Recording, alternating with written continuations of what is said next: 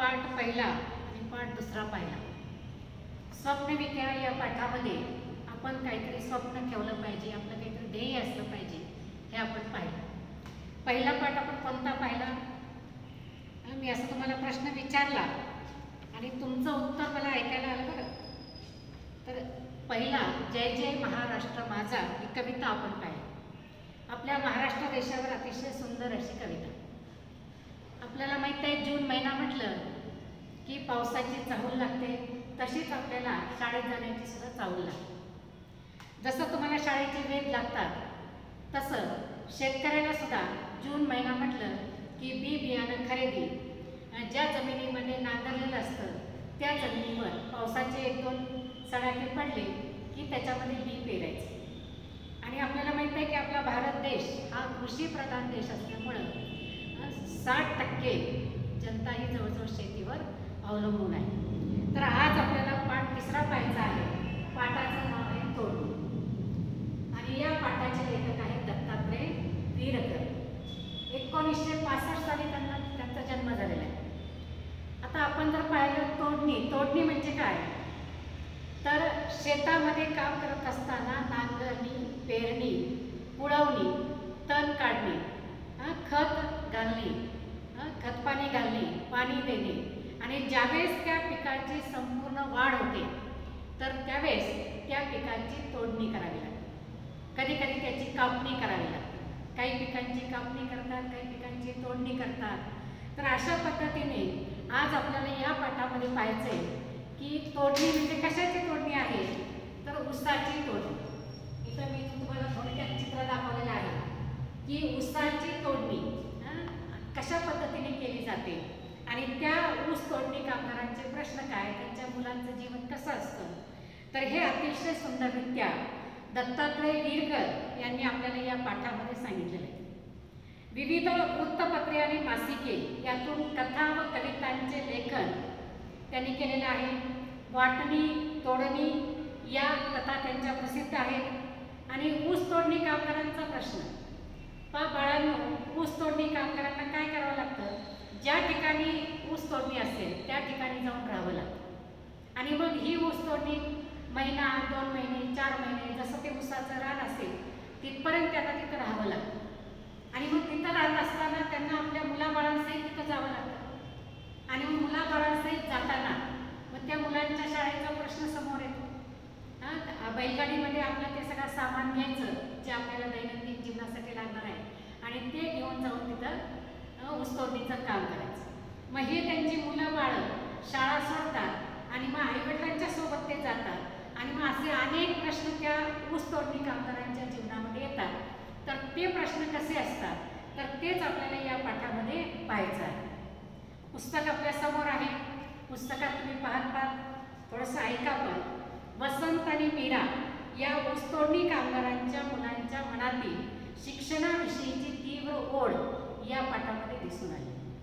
आपल्याला माहीत आहे जेवढं अन्न वस्त्र आणि निवारा आजच्या जीवनामध्ये आवश्यक आहे तेवढंच आपलं जीवन सुकर करण्यासाठी सुलभ करण्यासाठी शिक्षणाची सुद्धा आपल्याला अत्यंत आवश्यकता आहे.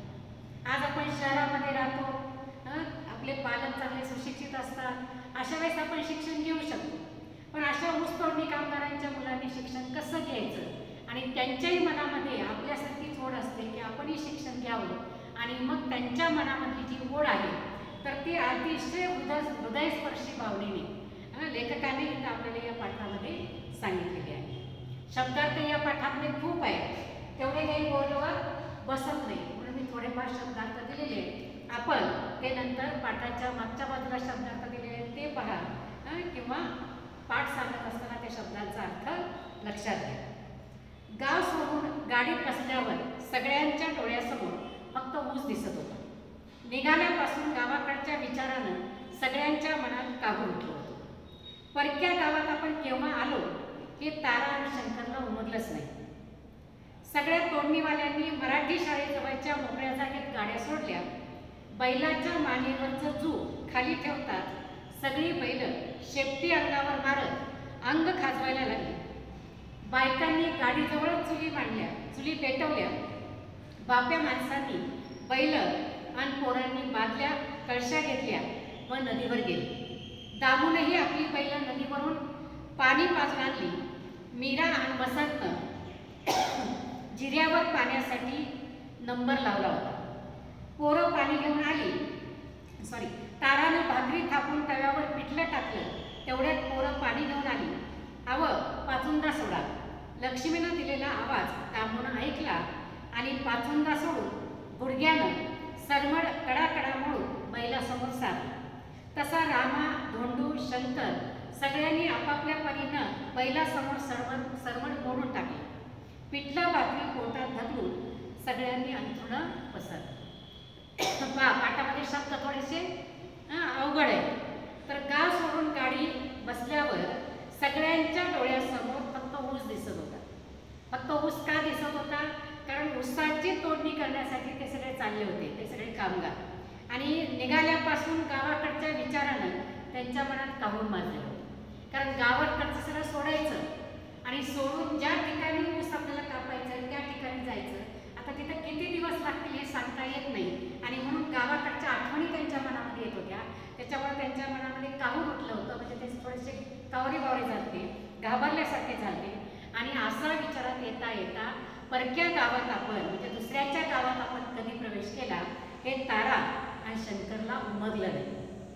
उमगलं नाही म्हणजे समजलं नाही की केव्हा ते गावात. आणि मग सगळ्या तोडणीवाल्यांनी म्हणजे ते सगळा ग्रुप निघालेला होता त्या सगळ्या ग्रुपने काय केलं तोडणीवाल्यांनी तिथे एक गावाजवळ मराठी शाळा होती. आणि त्या शाळेच्या समोर एक मैदान होतं. आणि त्या मैदानावर त्यांनी आपापल्या बैलगाड्या थांबवली. आणि बैलाच्या पाठीवरचं जू काढलं. आता जू म्हणजे काय? बैलगाडी तुम्ही पाहिली असेल त्या बैलाच्या मानेवर एक असं लाकडी असं एक खांब असल्यासारखं असतो आडवं लाकूड असतं. तर त्या आडव्या लाकडाला म्हटलं जातं चूक. तर हे चूक खाली ठेवलं आणि ती बैल काय झाली? त्या बैलगाडीपासून मोकळी झाली. म्हणजे जे त्यांना बांधलं गेलं तर त्याच्यापासून ती मोकळी झाली. आणि मग बैल बाजूला झाल्यानंतर लगेच त्यांनी आपल्या शेपटी अंगावर मारत आपल्या अंगाला खाजवायला सुरुवात केली. बायकांनी गाडीजवळ लगेच काय केलं? चुली पेटवली. कारण सकाळी ते लवकर निघालेले होते. त्याच्यामुळे स्वयंपाक करायचा होता. आता चूल कशी पेटवणार? तर तिथंच आजूबाजूला पडलेली दगडं आणायची आणि त्या तीन दगडाची मिळून काय करायची? चूल करायची. आणि ती चूल पेटवली आणि चूल पेटवून आता स्वयंपाक करायचं म्हटलं तर पाणी पाहिजे. आणि लगेच मग त्याच्यामध्ये बाप्या माणसांनी म्हणजे जे पुरुष माणूस होते त्या पुरुष माणसांनी आपल्याजवळ जे कळशी असेल कळशी छोटी घागर हं, बादली असेल तर हे सगळं घेतलं त्यांनी आणि कळशा बांधली घेऊन ते बा- बा- गावाच्या बाजूला नदीवर गेले. पा बाळांना आजच्या काळी जिथं जिथं आपल्याला नळ पाहायला मिळते. पण पूर्वीच्या काळी नळ नव्हते. नदीच्या कडेला शेत असायचं आणि त्या नदीच्या पाण्याचा उपयोग पिण्यासाठी केला जायचा. तर त्या नदीवर गेले आणि दाबूनही आपली बैलं काय केली? नदीवर घेऊन पाणी पिऊन आणलं त्या बैलाला. तवर काय केलं? ताराने काय केलं? भाकरी थापल्या त्या तव्यामध्ये पिठलं केलं. है ना? ज्याला आपण बेसन म्हणतो. तर ते केलं आणि तेवढ्यात पोरं पाणी घेऊन आली. आणि पाणी घेऊन आल्यावर ती आपल्या नवऱ्याला म्हणते आवं. हां आवं म्हणजे आहो. पाचुंदा सोडा. पाचुंदा म्हणजे बैलाला खाण्यासाठी त्यांनी कडब्याच्या पेंड्या आणलेल्या आणि तो पाच पेंड्यांचा एक गट केला होता त्यांनी. हां पाच पेंड्यांचा एक गट. आणि या पाच पेंड्या ज्या आहेत तर त्या सोडा. आणि बैलाला खाऊ घाला असं ती म्हणते. आणि मग दामोनं ते आपल्या पत्नीचा आवाज ऐकला. त्याने पाचुंदा सोडला. गुडघ्याने काय केलं? गुडघ्यावर तो सरवण मोडला. सरवण म्हणजे बाजरीच्या पिकाचा कडबा असतो किंवा ताटं असतात तर ते त्यांनी मोडलं आणि बैलासमोर टाकलं. तसा रामा धोंडू शंकर सगळ्यांनी आपापल्या बैलासमोर सरवण मोडून टाकलं. आणि मग हे सगळे बैलांना खाऊ घालून मग जेवायला बसले. आणि सगळ्यांनी मग ती पिठलं भाकरी काय केली? आपल्या पोटामध्ये ढकलली. जे जेवली आणि मग सगळी अंथरुणं पसरली. अंथरुणं पसरली म्हणजे आराम करण्यासाठी ते झोपले. आता झोपल्यानंतर तांबडं फुटताच तारा झटकन अंग झटकून उठली. तिनं जर्मनच्या पातेले चहा ठेवला. शंकर जांभई देत उठला. त्यानं अंथरुणाची वळकटी केली. तारानं तोंडावर पाचोळा मारला. नि दाळ बिनदांडीच्या कपात लाल चहा शंकरच्या पुढ्यात केला. हां घ्या चहा घ्या. शंकरनं चहाचा कप हातात घेतला. शंकर अरे शंकर अरे मामू चित्ती घेऊन आलाय. थळात जायचे निघाया पाहिजे. तामूचा आवाज कानावर पडताच हा आलो आलो. असा म्हणून शंकरनं गटागटा चहा पोटात ढकलला. सगळ्यांनी नदीच्या काठावर मोकळ्या रानात सामान उतरवलं आणि थळाचा रस्ता धरला. शं शंकर ताराने आपला कोयता सोबतीला घेऊन मीरा आणि वसंतलाही बरोबर घेतलं. आज ऊस तोडणीचा पहिला दिवस असला तरी उघड्यावर झोपून थंडीनं अंग काकडून निघतं. म्हणून दुपारी स्थळातून लवकर परत यायचं असं सगळ्यांनी ठरवलं होतं. थळात पाय ठेवता शंकरनं उसावर घाव घालायला सुरुवात केली. मीरानं मोळ्या बांधल्या दिवस माथ्यावर आला. केव्हा आला ते समजलंच नाही. हिरवा चारा मिळाल्यानं बैल मस्त झोपली जोगली होती. पा आता ज्या दिवस दिवसात ते निघाले होते पोचले पोचल्यानंतर त्यांनी जेवण केलं आणि विश्रांतीसाठी ते झोपले. आणि विश्रांती घेतल्यानंतर त्यांच्या मनामध्ये दुसऱ्या दिवशी जसं आपल्या मनामध्ये असतं की दुसऱ्या दिवशी आपल्याला अभ्यास करायचा आहे शाळेत जायचं आहे तसं त्यांच्या मनामध्ये काय होतं की दुसऱ्या दिवशी उठून जिथं ऊसाचं रान आहे त्या ऊसाच्या रानात जायचं. आपण आणि म्हणून तांबडं फुटताच आता तांबडं फुटणं म्हणजे काय? पहाट होणं. सूर्य उगवला की सूर्याची सोनेरी किरणं सर्व पृथ्वी तलावर पडतात म्हणून म्हटलं जातं तांबडं फुटणे म्हणजे पहाट झाली तारानं अंग झटकलं म्हणजे आळस आपला काढून टाकला. हा अंग झटकलं म्हणजे झटकलं नाही तर आळस आपला काढून टाकला आणि तिनं जर्मनच्या पातेल्यात चहा ठेवला. जर्मनचं पातेलं म्हणजे पांढऱ्या धातूचं पातेलं त्याच्यामध्ये चहा ठेवला आणि शंकरला जांभई देत शंकर काय झालं जांभई देत उठला आणि मग त्यांनी काय केलं अंतराची वळकटी म्हणजे काय? असं अंतरून गोळा करणे. आणि वळकटी करून बिनदांडीच्या कपामध्ये तिने चहा दिला. आणि ती म्हणते हवं चहा घ्या चहा. आणि मग शंकरनं चहाचा कप हातात घेतला. आणि शंकर अरे शंकर अरे माहू चिठ्ठी देऊन आलाय. थळात जायचंय निघाया पाहिजे. पा तोवर त्याला कुणीतरी हाक मारली. तर काय म्हणतात की शंकर अरे शंकर हा अरे मामू चिठ्ठी देऊन आलाय. म्हणजे त्यांनी जे जे कामगार आलेले आहेत त्याच्या नावाने चिठ्ठी घेऊन आली की या कामगारांनी या ठिकाणी यायचं आणि थळात जायचे निघायला पाहिजे. दामूचा आवाज कानावर म्हणजे दामू अण्णा हा त्यांच्यातला एक व्यक्ती होता. तर तो व्यक्ती शंकरला उठवायला आला आणि मग शंकरचा आवाज कानावर पडताच तो म्हणतो हा आलो आलो. असं म्हणून शंकरनं गटागटा तो चहा पोटात ढकलला आणि सगळ्यांनी नदीच्या काठावर मोकळ्या रानात सामान उतरवलं आणि थळाचा रस्ता धरला. थळ म्हणजे ज्या ठिकाणी ऊस तोडणीचं रान असतं त्याला म्हटलं जातं थळ. तर शंकर आणि तारानंही आपला कोयता सोबतीला घेतला. आता पहा बाळांनो कोयता म्हणजे काय? तर ऊस तोडण्यासाठी असं चंद्राकृती आकाराचं एक लोखंडी धातू असतो. आणि त्या धातूला काय असतं? एक लाकडी मूठ असते. तर ती मूठ घेऊन ते कोयता घेऊन भरभर भरभर काय केलं जातं? ऊसाची तोडणी केली जाते. तर शंकर आणि तारानं सुद्धा आपापला कोयता घेतला. आणि ते काय केले? रानामध्ये जायला निघाले. आता त्या शंकर आणि ताराची दोन मुलं होते. एकाचं नाव होतं मीरा मुलाचं नाव होतं वसंत. त्या दोघांनाही त्यांनी बरोबर घेतलं आणि आज ऊस तोडणीचा पहिला दिवस असला तरी उघड्यावर झोपून थंडीने आ- अंग काय झालं होतं. काकडून गेलेलं होतं. म्हणून दुपारी स्थळातून लवकर परत यायचं. लवकर जायचं आणि लवकर परत यायचं असं त्यांना वाटलं. म्हणून असं ठरवून सगळ्यांनी त्या थळावर गेले. म्हणजे त्या उसाच्या रानात गेले. थळात पाय ठेवतात शंकरने उसावर घाव घालायला सुरुवात केली. म्हणजे ते ऊस असा एका हाताने वरचं पकडायचं आणि खालून काय करायचं? कट करायचं. तर त्याला म्हणतात तोडणी.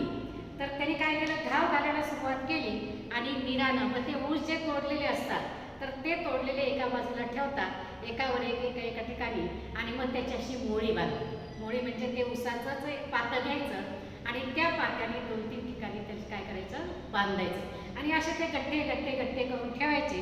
आणि मग ते गठ्ठे केलेले पुन्हा काय करतात? गाडीत घालून ऊस जिथं काढायचं असेल त्या ठिकाणी घेऊन जातात. आणि मग आता बैलसुद्धा त्या रानामध्ये होती.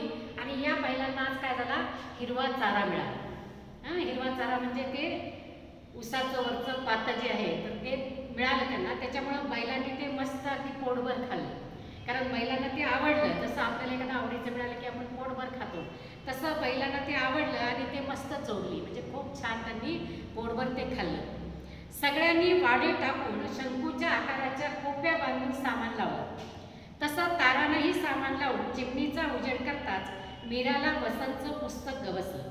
वशा तुपलं पुस्तक वशा तुपलं पुस्तक. मीराचा आरडाओरडा ऐकून वसंतला शाळेची आठवण झाली आणि वसंत कोपी बाहेर बसलेल्या शंकरच्या मागे जाऊन उभा ठरला त्यानं शंकरच्या खांद्यावर हात ठेवून विचारलं दादा मले साळात कवा धाडणार? थळामध्ये जोसात काम करणाऱ्या वसंतला शंकरनं पाहिलं. पाहिलं असल्यानं शाळा वेळा काय बी नाही. शाळा वेळा काय बी नाही बस. झाली आता तुपली शाळा खाऊन घे आणि झोप. तांबड्यात तांबड्यात तोडीला जायचं हाय. जा झोप जा. असं म्हणून गप्प केलं शंकरच्या मागे उभं राहून खांद्यावर हात ठेवून विचारताना उसाच्या पाचटानं साळलेल्या अंगावरच्या खुणा पाहून वसंत हक्कून गेला होता. त्याच्या मनात शिक्षणाविषयीची उलघाल होत होती. शंकरच्या बोलण्यानं वसंत उपाशी झोपला तर मीराला फार वाईट वाटलं. पा आता गंमत कशी आहे? तर सगळ्यांनी वाडे टाकून शंकूच्या आकाराच्या कोप्या बांधून सामान लावलं सुरुवातीला ते शाळेच्या त्या मैदानात उतरले होते. तिथून ते सगळं सामान घेतलं आणि ऊसाच्या थळावर आले. म्हणजे ऊस जिथं कापायचा होता त्या रानामध्ये ते आले.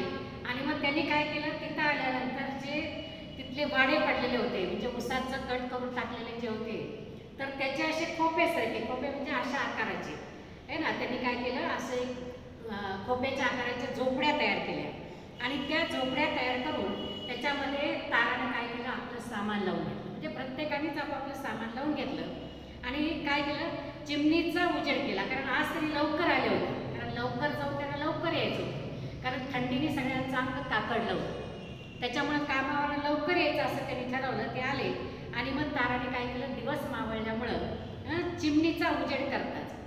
चिमणी म्हणजे बाळाला पूर्वीच्या काळी लाइट नसायची. किंवा लहानामध्ये आजकाल सुद्धा काही ठिकाणी लाइट नसते. तर एवढं एवढं लोखंडाचं असतं किंवा एखादी बाटली घ्यायची त्या बाटलीचं वरचं जे झाकण असतं तर त्याच्यामध्ये काय करायचं? एखादं कापसाची किंवा एखाद्या कपड्याची अशी गुंडाळी करून त्याच्यात वात घालायची आणि ती संध्याकाळी पेटवायची. त्याला म्हटलं जातं चिमणी. तर त्या चिमणीचा उजेड केला आणि उजेड केल्याबरोबर मीराला काय दिसलं? वसंतचं पुस्तक दिसलं.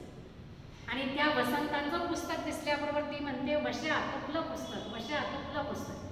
वशा म्हणजे वसंत. अरे वसंता तुझं पुस्तक तुझं पुस्तक. आणि मीराचा तो आरडाओरडा ऐकल्यानंतर वसंतच्या लक्षात आलं की हे आपलं पुस्तक आहे आणि मग त्याला आठवण आली शाळेची. जसं आजही तुम्हाला काय होत असेल शाळेची आठवण येत असेल. आम्हालाही वाटतं की आपली लेकरं आपल्याजवळ असावी पुन्हा शाळा सुरू व्हावी. आणि नक्कीच आपली शाळा पुन्हा सुरू होणार आहे. काही काळ आपल्याला काय करावं लागेल?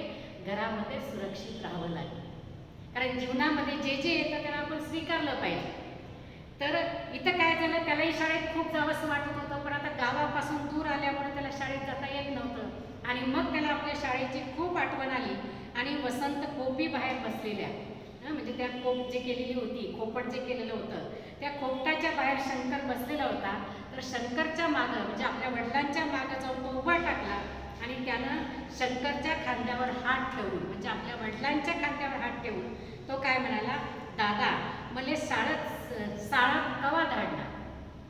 भाषा कशी आहे पा की दादा मले शाळात कवा धाडणार. म्हणजे दादा मला तुम्ही शाळेत केव्हा धाडणार किंवा केव्हा पाठवणार? तर थळामध्ये जोशात काम करणाऱ्या वसंतनं शंकर वसंतला शंकरनं पाहिलं असल्यानं शाळा मिळा काय आता पहा हा छोटासा तुमच्या एवढा वसंत. तोही आपल्या बाई आई वडिलांबरोबर कुठं गेलेला होता? ऊस तोडायला. आणि तोही भरा भरा भरा ते काय करत होता? ऊस जमा करत होता आणि त्याचे गठ्ठे बांधून ठेवत होता. आणि त्याचं ते भरभर भरभर केलेलं काम पाहिल्यानंतर त्याच्या वडिलांना असं वाटलं की आता याला शाळा शिकून काय करायचे? कुठं शाळा शिकून नोकऱ्या लागायला लागल्या? म्हणून आपण काय करावं? वसंतला आता शेतातच शेतातल्या कामामध्येच त्याला प्रवीण करावं निपुण करावं. आणि ते सगळं त्याचं काम पाहिल्यानंतर तो म्हणतो आता शाळा मिळत काही नाही. म्हणजे शाळेमध्ये आता शाळा शिकून काय करायचे बस. आता शाळा बस झाली. आता तुला काय करायचे तुझी शाळा घेऊन तुझी शाळा घेऊन काय करायचे खाऊन घे आणि झोप. आता शाळा मिळा काही नाही. हे शेतातलीच कामं हळूहळू तू काय कर? शिक. आणि मग झोप म्हटल्यानंतर तांब्यात गोडीला जायचं आहे तांब्यात म्हणजे पहा आपल्याला लवकर जायचं आहे आज आपण लवकर आलो पण उद्या आपल्याला जेवढं लवकर जाता येईल तेवढं लवकर जाता येईल जायचंय. म्हणून काय करतो आता? झोप. असं म्हणून गप्प केलं. कुणाला गप्प केलं? हां वसंताला. है ना? कारण तो शाळेत जायचा म्हणत होता आणि शाळेत राहा पाठवू शकत नव्हता. म्हणून त्याने काय केलं? गप्प केलं आणि असं गप्प केल्यानंतर शंकरच्या मागे उभं राहून खांद्यावर हात ठेवून विचारतात उसाच्या पाचटाच्या साळलेल्या अंगावरच्या खुणा आता उसाचं पाचट जे असतं ते अतिशय धारदार असतं. त्याला अशी बारीक बारीक बारीक काटे असल्यासारखे असतात आणि ज्यावेळेस हे ऊस कापणी करतात तर त्यावेळेस अंगाला ठिकठिकाणी काय होतं ते लागतं. आणि मग असं खर्चटल्यासारखं होतं. आणि मग वसंत आपल्या वडिलांच्या मागं उभारला होता आणि त्यांनी पाठीवर पाहिलं तर त्या उसाच्या साळलेल्या पाचटाच्या छोट्या छोट्या छोट्या खुणा हा लागलेल्या त्या आपल्या वडिलांच्या खांद्यावर त्यांनी पाहिल्या आणि मग तो हपकून गेला. की त्यालाही असं वाटलं जर मी उद्या शाळा नाही शिकलो तर आपल्या वडिलांसारखंच आपल्याला शेतावर जावं लागणार काम करता करता अशाच जखमा आपल्यालाही घ्यावा लागणार. आणि मग त्याच्या मनामध्ये शिक्षणाविषयी अतिशय उलगा पा बाळांनो हं, पडोगे तो होंगे नवाब. नवाब म्हणजे राजा. आपण पाहतो जेवढा मनुष्य शिकेल तेवढ्या वरच्या पोस्टवर जातो एखादा कलेक्टर असेल डॉक्टर असेल इंजिनियर असेल किंवा एखादा चांगला कार्यकर्ता असेल तर तुम्ही जेवढं शिकाल तेवढं चांगल्या पदावर तुम्ही जातात आणि त्या पदावर तुम्हाला मानही भरपूर असतो आणि पैसाही भरपूर मिळतो. म्हणून आपण शाळा ही नक्कीच शिकली पाहिजे आणि जर नाही शिकलं तर असं थोडंसं शारीरिक कष्ट घेऊन आपल्याला आपलं पोट भरावं लागतं. तर शिक्षणाची उलगड त्याच्यामध्ये मनामध्ये आहे. म्हणजे आपण जर आता शाळा नाही शिकलो तर आपल्या वडिलांसारखंच आपल्याला काय करावं लागणार? असं कुठंही काम करावं लागणार. हे विचार त्याच्यामध्ये आले. आणि शंकरच्या बोलण्यानं तो वसंता उपाशी झोपला. म्हणजे तो नाराज झाला. की त्याला शाळेत जायची खूप ओढ. शिक्षणाची ओढ होती. आणि आपल्याला आता शाळेत जायला कळत नाही. या विचाराने तो रात्री काही जेवला नाही आणि तो उपाशीच झोपला. आणि तो उपाशी झोपल्यामुळं मीराला काय झालं? म्हणजे त्याच्या आईला अतिशय वाईट वाटले. त्यांनी उठवलं पण तो काही जेवायला काही उठला नाही. कोपी बाहेर अंधुक उजेडात तारानं चूल शिरावून तवा ठेवला. भाकरी थापण्याच्या आवाजानं वसंतला जाग आली. शंकर शंकरनं नदीवर जाऊन गुड गुंडभर तर मीरानं कळशीवर पाणी आणलं. शंकरनं थळात जायची तयारी चालवली होती. मीरानं पाट्यावर मिरचीचं वाटण वाटून आईकडे दिलं. मिरे अगं लव आवर लवकर. त्या वशाला होती अरे आवरा लवकर. गाड्या निघाल्या. शंकरच्या आवाजानं तारानं कालवानाला फोडणी दिली. सगळ्यांच्या गाड्या वाटायला लागल्या. शंकरनेही आपली गाडी झोपली. तारा धुडक्यात कोयता भाकरीचं पेंडकं आणि कालवण घेऊन गाडीत बसली. तशी मीराही परकर सावळत बसली. वसंत कोपी मागं फुटून बसला होता. तारानं वसंतापाशी जाऊन समजूत काढून त्याला गाडीत बसवलं आणि गाडी फुपाट्याच्या रस्त्यानं वाटेला लागली. पा आता हा आजचा तिसरा दिवस. पहिल्या दिवशी ते आले दुसऱ्या दिवशी त्यांनी शेतामध्ये थोडंफार काम केलं आणि आज तिसरा दिवस. आज त्यांनी ठरवलं की सकाळी लवकर उठायचं. आणि लवकर कापणीला जायचं. कारण जेवढ्या लवकर त्यांची कापणी होईल तेवढ्या लवकर त्यांना आपापल्या गावाला जायला परत मिळेल. आणि म्हणून कोपी बाहेर अंधूक उजेड असतानाच तारण काय केली चूल शिलगाव. तिथं आपल्यासाठी काही गॅस नाही रानावनामध्ये जे काही शेणाचे गोळे मिळतील किंवा जे लाकूड फाटा मिळेल ते आणायचं आणि त्याच्यावर आपला उदरनिर्वाह करायचा. त्याच्यावर आपला स्वयंपाक करायचा. तिने चूल शिलगाव. आता शिलगाव म्हणजे काय? पेटवली. आणि त्याच्यावरती तवा ठेवला. आणि तवा ठेवून त्यांनी भाकरी थापायला सुरुवात केली. आणि जसं आईनं भाकरी थापायला सुरुवात केली तर भाकरीच्या थापण्याने काय झालं? वसंताला जाग आली. शंकरनं नदीवर जाऊन कुंडभर पाणी आणलं तर मीरानं कळशीवर पाणी आणलं. आणि आईने काय सांगितलं? मीराला की पाट्यावर थोड्या मिरच्या वाट. आणि तिने मिरची वाटायला सुरुवात केली आणि लवकर लवकर असं आवर असं तिने म्हटलं. त्या वशाला उठव म्हणजे वसंताला उठव असं तिने सांगितलं. अरे आवरा लवकर आपल्याला काय करायच्यात गाड्या निघाल्यात. आपल्यालाही लवकर निघायचं असं सांगितलं. तिने कालवणाला फोडणी टाकली. आता कालवण म्हणजे काय? पातळ वरण किंवा पातळ भाजी. त्याला फोडणी टाकली. सगळ्या गाड्या वाटेला निघाल्या. तसं शंकरने आपली गाडी झुंपली तारानं धुडक्या. धुडक्या म्हणजे कपडा. तर त्या कपड्यामध्ये तिने काय केलं? कोयता घेतला. भाकरीचं पेंडकं म्हणजे चार भाकरी त्याच्यावर कालवण त्याच्यावर मिरचू असं सगळं तिने घेतलं आणि ती निघाली. तर वसंताला सुद्धा घेऊन जायचं तर वसंत कुठं होता त्यावेळेस? कोपी मागं फुटून बसला होता. हां फुटून म्हणजे रुसून बसलेला होता. आणि तारानं वसंतापाशी जाऊन काय केली त्याची थोडी समजूत काढली आणि त्यालाही बळच काय केलं? गाडीवर बसवलं आणि गाडी मुकुटाच्या रस्त्याला लागली. आता वसंत का रुसला होता? कारण त्याला शाळेची ओढ होती. आता आज आपण इथपर्यंत हा पाठ पाहिलेला आहे. आता याचा जो पुढचा पाठ आहे किंवा घटक जो आहे तो आपण नंतर पाहणार आहोत. धन्यवाद.